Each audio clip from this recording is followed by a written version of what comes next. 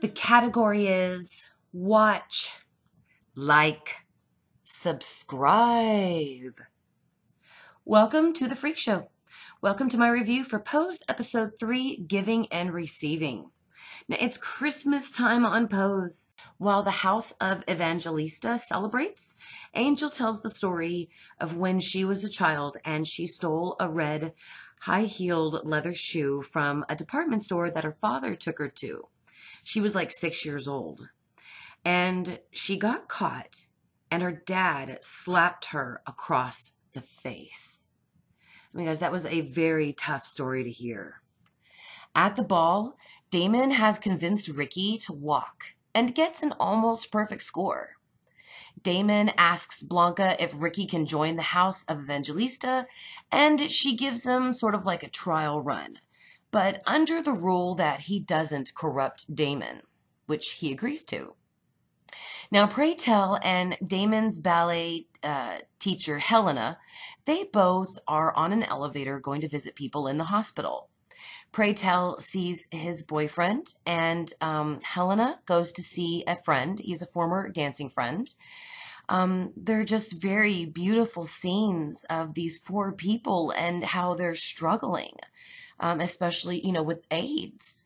And Pray Tell tells this to Blanca. And uh, later, Helena uh, gets the call that her, the friend that she visited in the hospital has died. Um, it was a very emotional and heartbreaking scene because later she takes it out on Damon when he shows up late to school. Helena rips that poor Damon a new one with just shame about being late.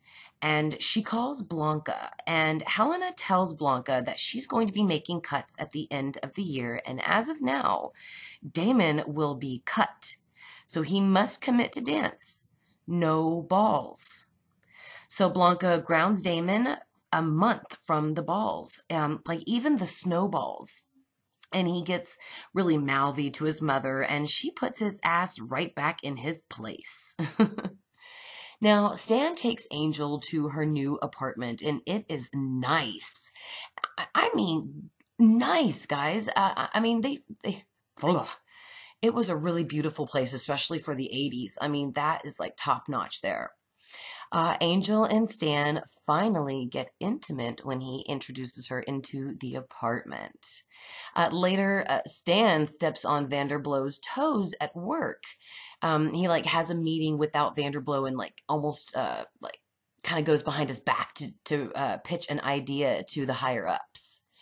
Uh, then Stan buys Christmas presents for his wife and Angel.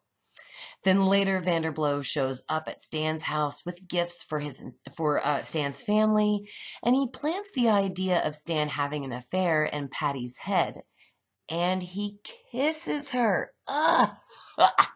no offense. I mean, you know, um, James Vanderbeek is really hot and everything, but I just, I'm a married person. I would not, if my husband's boss kissed me, he would literally get a kick to the groin or the throat.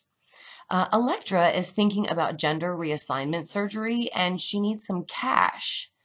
Um, now, her, the same thing, her uh, house needs cash. Um, they want to kind of decorate for the holidays. So they steal it from like one of those Salvation Army Santa Clauses. I mean, guys, you just can't get better writing than this. now they get 2300 after stealing it, and Elektra uses it as a down payment for her surgery. Good for her.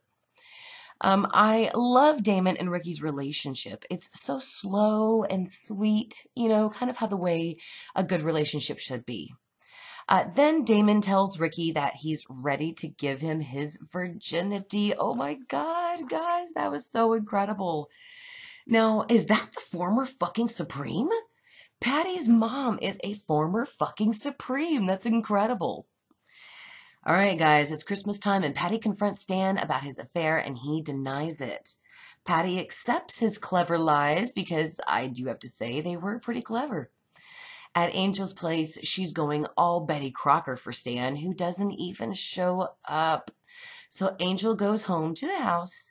Uh, Blanca burns the turkey, sadly, So the whole family goes out to eat.